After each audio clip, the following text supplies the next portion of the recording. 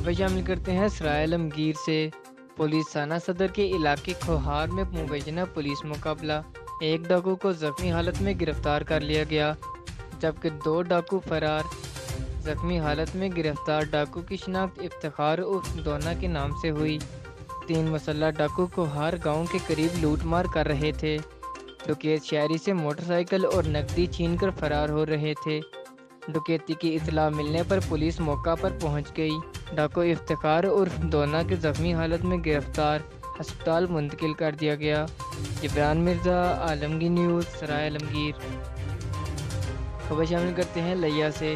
वज़ीर अजम का दौरा लिया शहबाज गुल की प्रेस कॉन्फ्रेंस के दौरान बदनज़मी सहाफ़ी बरदरी का झगड़ा प्रेस कॉन्फ्रेंस के दौरान सहाफ़ियों के दो ग्रुप आमने सामने पुलिस और सियासी नुमाइंदों ने बीच बचाव कराया। डिस्ट्रिक्ट प्रेस क्लब के इलेक्शन के हवाले से रॉयल जर्नलिस्ट ग्रुप और अलायंस ग्रुप के दरमियान तनाज़ा चल रहा था। गुजशत दिनों दोनों ग्रुपों के दरमियान प्रेस क्लब के अंदर भी शदीद चपलकश हुई। मावन खसूसी वज़ीर अजम शहबाज गुल की सहाफ़ी बरदरी की डिस्ट्रिक्ट प्रेस क्लब के मसले के हल की यकीन दहानी। मनाजर अली आलमगी न्यूज़ लिया खबर शामिल करते हैं चौक आज़म से।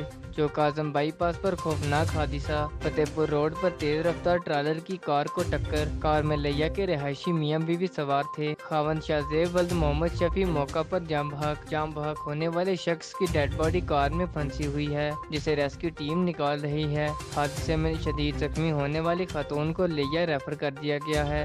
रेस्क्यू टीम मौका पर मौजूद खबर शामिल करते हैं पिंडाजर खान से। पंजाब हुकूमत की हदायत पर खिदमत आपकी दलीज प्रोग्राम आइंदा हफ़्ते शुरू होगा। शहर में सफ़ाई के लिए मौसर इकदाम किए जा रहे हैं। पंजाब हुकूमत की हदायत पर नई कारकर्दगी, अपील से कारकर्दगी मॉनिटर की जाएगी। इस सिलसिले में ए सी पिंडादन खान, मियाँ मुराद हुसैन नेकोकारा की हदायत पर म्यूनसिपल कमेटी की टीमें तश्कील दी जा रही हैं। जो दो दिन में सफ़ाई स्ट्रीट लाइट्स में दीगर मामला पर अपनी रिपोर्ट जमा कराएँगे, जिस पर फौरी कार्रवाई की जाएगी। CEO municipal committee Muzaffar Baig ने म्यूनसिपल कमेटी के इजलास के बाद मीडिया से गुफ्तु करते हुए कहा कि डिप्टी कमिश्नर जेलम राव परवेज अख्तर की इस सिलसिले में हदायत बड़ी वाजिया है। सफ़ाई की सूरत हाल को मजीद बेहतर बनाया जाएगा। CEO municipal committee Muzaffar Baig ने कहा कि शहरी भी इस सिलसिले में अपना किरदार अदा करें और ऐसे मकाम की सोशल मीडिया के ज़रिए निशानदेही करें। शहरीों के ताउन से तमाम वसाइल बरूकार लाए हुए अवाम की बेहतरी के लिए भरपूर इकदाम करेंगे। राजा बिलाल आलमगी न्यूज़ पिंदादन खान खबर शामिल करते हैं पिंदादन खान से।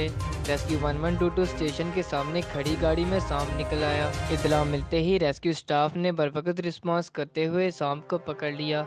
गाड़ी मालकान की तरफ़ से रेस्क्यू स्टाफ का शुक्रिया अदा किया गया। राजा पिलाल आलमगी न्यूज़ जहलम